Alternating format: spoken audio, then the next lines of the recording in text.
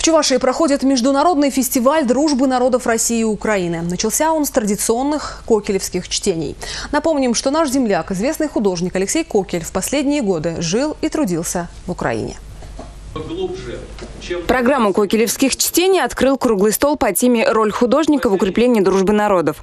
Обсуждали эту самую роль ученые национальных университетов Поволжья и Украины, а также видные деятели культуры и искусства Чувашии. Общение, единственное средство, это самое между людьми, а, безоружие. Это самый верный путь регулирования всех процессов мировом масштабе. Поэтому мы тут сегодня собрались для того, чтобы поговорить о роли культуры, объединения народов, двух, трех, четырех, которые населяют Великую Россию сегодня.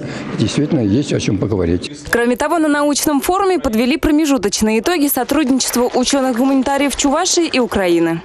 Это десятые по счету кокелевские чтения, которые мы приурочили еще к тому же к приезду наших украинских коллег из Харьковского национального педагогического университета, которые э, являются у нас э, прежде всего партнерами по договору. Мы с ними подписали договор год назад и активно сотрудничаем. Несколько совместных проектов наших историков с харьковскими коллегами уже позади. Из планируемых общих проектов конференция «Человек в диалоге культур». Одной из ее ключевых фигур будет Кокель. Притом мы уже сейчас запланировали с нашими коллегами э, проведение э, цикла конференций круглых столов в режиме онлайн.